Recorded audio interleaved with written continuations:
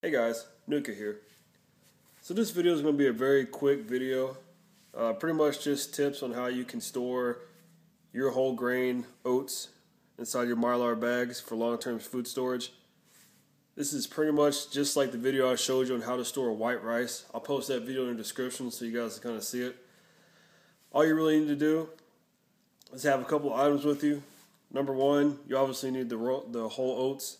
Number two, you need a pair of scissors. Number three, you need your mylar bags. Number four, you're going to need a food grade bucket with a lid.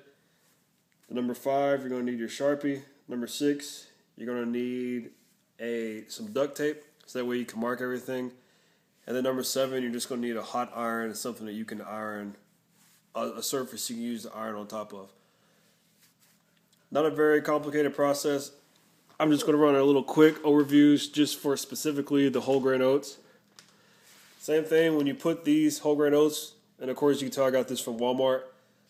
For about two pounds, ten ounces, I paid somewhere around five, uh, or not five, but somewhere around three dollars, I believe. I think it was two dollars fifty cents, something like that. Not a bad buy. Whenever you're bagging this up, though, and you have this inside your mylar bags, make sure that you also take the cooking instructions. Also, I know cooking oats is not hard.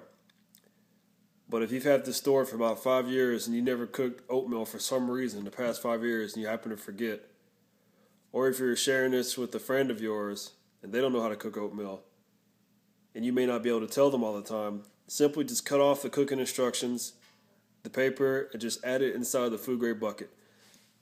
It also wouldn't hurt to get the caloric intake for your nutritional facts. So that way you can know everything that you're getting inside of your rolled oats whenever you eat them. So those are just kind of little quick pointers I would recommend adding in there. But really guys, all you have to do, pop the top off,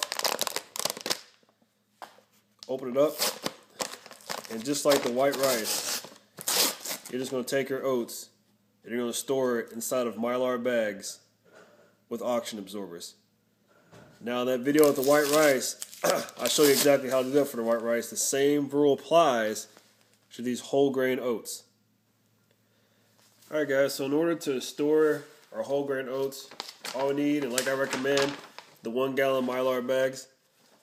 Just take your oats, after you try to examine it for some insects and pests, go ahead and dump it inside a one gallon bag.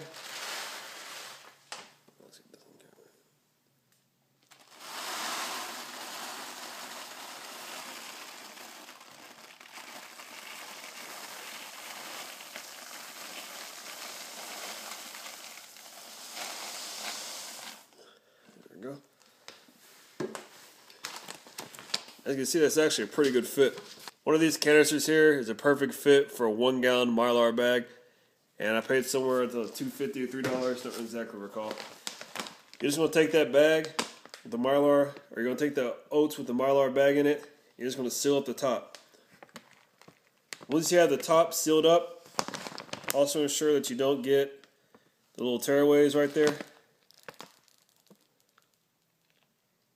Make sure you watch out for these. I recommend that you iron above that. So that way, when it comes time to ripping these open, you can just tear it open instead of having to have scissors or knives on you. Stored oats should last you from about 20 to 30 years if done properly. Inside of Mylar bags with oxygen absorbers, 20 years shouldn't be a problem.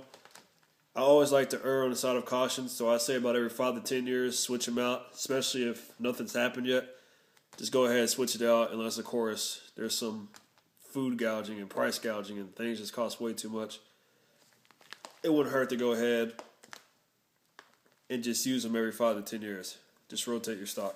All right, so once you finish bagging up your whole grain oats, you want to tag it as something along those effect same are whole grain oats, the date which they expire. Remember, I like to keep it 5 to 10 years, even though they can last up to 20. This is just definitely keeping on the safe side.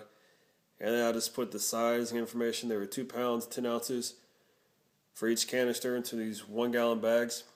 And what I used was I just used the 300 cc oxygen absorbers. And before you place them to your food grade bucket, don't forget Make sure you've clipped out the information that you want to take with you. especially to note the serving size because we know water is going to be scarce in this environment.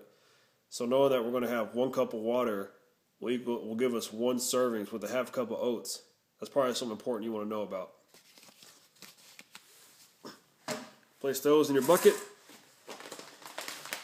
I only have two packs here. So of course I'll be adding more to this bucket before I completely close it up. So hopefully this video is information to you guys. Please rate, comment, subscribe, and I'll see you soon. Later.